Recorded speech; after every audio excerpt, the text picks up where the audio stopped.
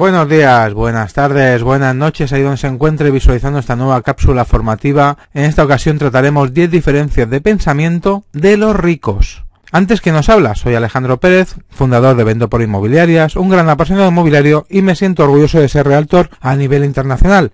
Aún así te seguirás preguntando quién es Alejandro Pérez, pues aquí un pequeño resumen de mis conocimientos y actitudes para las personas que no son conocedoras de mí y para quien ya me conoce vamos a pasar directamente a la cápsula formativa 10 diferencias de pensamiento de los ricos. He sido rico y he sido pobre. Conozco bien ambos lados de la moneda.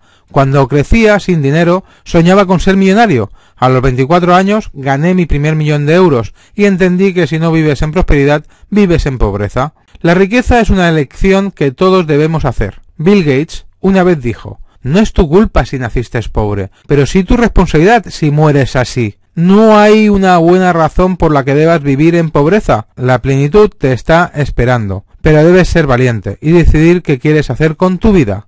Durante mucho tiempo batallé para creer que podría llegar a tener dinero. Un día observé la diferencia de pensamiento entre quienes tienen riqueza como fruto de su esfuerzo y entre quienes, por una extraña elección propia, deciden no luchar por generar riqueza. Esto es lo que observé, refiriéndome a la, como no ricos a aquellos individuos que no luchan por cambiar sus circunstancias. Primero A. Los no ricos son escépticos. Recuerdo a un compañero de trabajo que decía que los mecánicos le cobraban de más y que en la tienda le trucaban las balanzas para alterar los precios. Creía que todo el mundo quería quitarle su dinero. Primero B. Los ricos son más confiados. Sorprendentemente, muchos ricos tienen la tendencia de creer en las personas que conocen dentro del sentido común y le dan la oportunidad de probarse a sí mismas. Segundo A. Los no ricos buscan problemas. Las personas que no tienen recursos por voluntad propia no buscan soluciones, le echan la culpa al ambiente, a sus familias, a las circunstancias, etc. y crean una lista de excusas por las que no tienen éxito. Segundo B, los ricos buscan triunfar. Estas personas entienden que todo pasa por una razón, suelen tomar el control de sus vidas, sin importar sus circunstancias, y hacen que pasen grandes cosas. Dejan de lado las excusas y toman responsabilidad por sus propias victorias. Tercero A, los no ricos asumen. Las personas que no buscan la riqueza creen saber la verdad de todo. Cuando tratan de acercarse a un mentor piensan, seguramente no tendrá tiempo para verme, en lugar de revisar los, los hechos y hacer las preguntas correctas. Nunca intentan hacer algo nuevo. Tercero B, los ricos hacen preguntas. Muchas personas exitosas se preguntan, ¿qué pasaría si, por ejemplo, qué pasaría si le escribo un correo a este empresario y me responde? El poder está en las manos de quien hacen los cuestionamientos correctos. Cuarto A.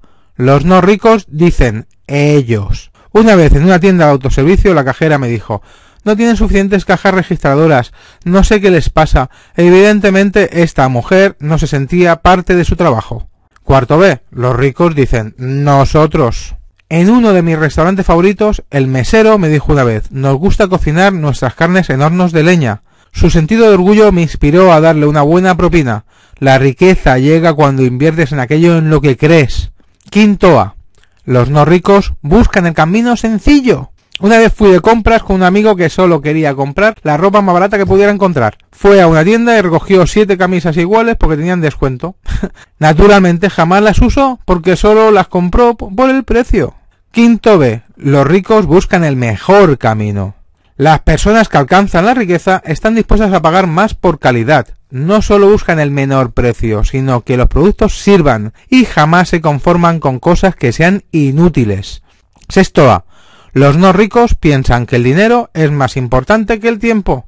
Millones de personas en todo el mundo cambian tiempo por dinero sin pensar que siempre pueden ganar 5.000 euros o 5.000 dólares otra vez, pero nunca recuperarán 500 horas. Nunca recuperarás 500 horas. Sexto B. Los ricos saben que el tiempo importa más que el dinero. Estos individuos jamás cambian sus minutos por euros. Buscan experiencias que los llenen y que alteren dramáticamente sus vidas. Sus carreras se enfocan en hacer lo que les gusta y en ayudar a otros, en lugar de sacrificarlo todo por un cheque mensual. Séptimo A. Los no ricos solo imitan.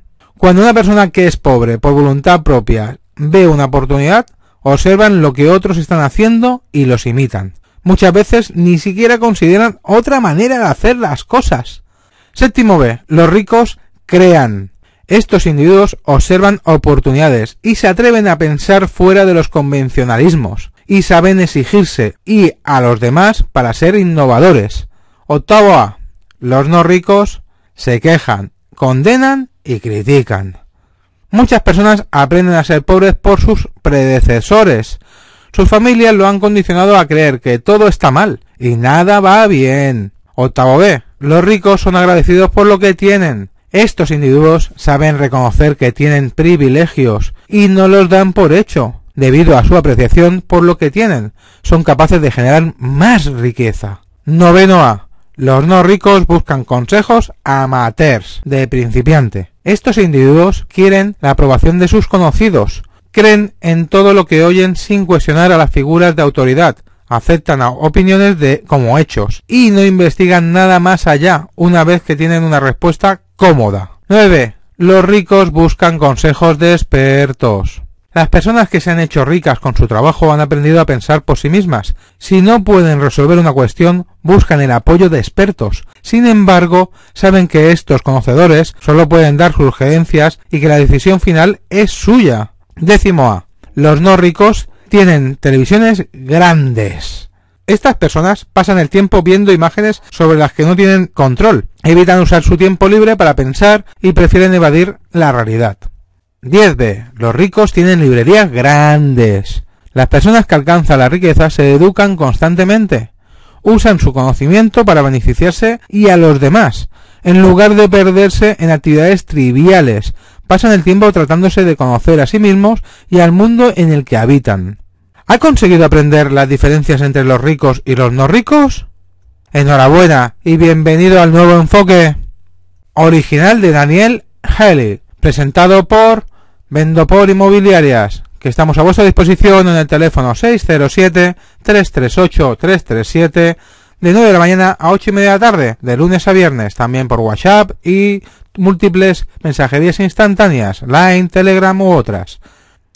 Muchas gracias por vuestro tiempo, el cual espero hayáis disfrutado y, os espero en la próxima cápsula o píldora informativa. Y recordar ver todas las anteriores que ya tenemos, que tenemos unas cuantas. Muchas gracias por estar ahí y por suscribiros y por estar constantemente a nuestro lado. Muchas gracias y hasta pronto.